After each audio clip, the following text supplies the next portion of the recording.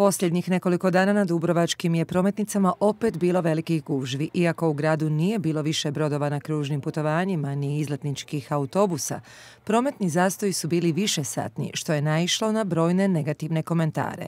Gradonačelnik je pojasnio kako je do gužvi došlo zbog vremenskih prilika i pojave požara. Razgovarao sam jučer sa načelnikom policijske uprave, sa načelnikom prometne policije i obećali su pomoć jednako kao što su nam ljeto, cijelo ljeto pomagali i svjedoci smo bili da uistinu evo ovo ljeto imali smo usporeno prometa, ali uistinu je promet bio puno, puno bolji nego što je to bilo prošle godine.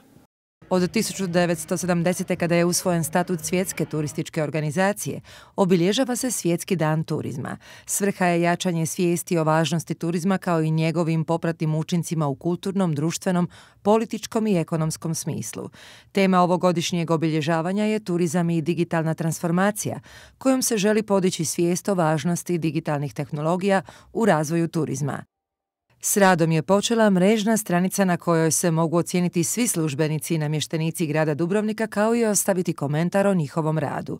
U projekt koji je osmislila udruga Prospektus osim Dubrovnika uključeni su Zagreb, Varaždin i Pula. Stranica nosi naziv Ocijeni me, a potrebno je registrirati se putem svog Facebook profila ili mail adrese anonimno ili punim imenom i prezimenom. Petu godinu zaredom u Dubrovniku se organizira obilježavanje Europskog dana jezika. Ispred crkve Svetoga Vlaha Europski je dom u okviru svoga programa Info Centar za mlade Dubrovačko-neretvanske županije obilježio ovaj dan uz sudjelovanje 12 različitih organizacija.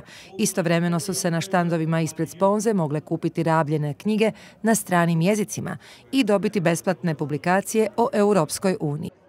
Sutra na programu Dubrovačke televizije od 20 sati i 35 minuta pogledajte reportažu o budućnosti cruising turizma, a od 21.45 emisiju iz arhiva s carem na kavi.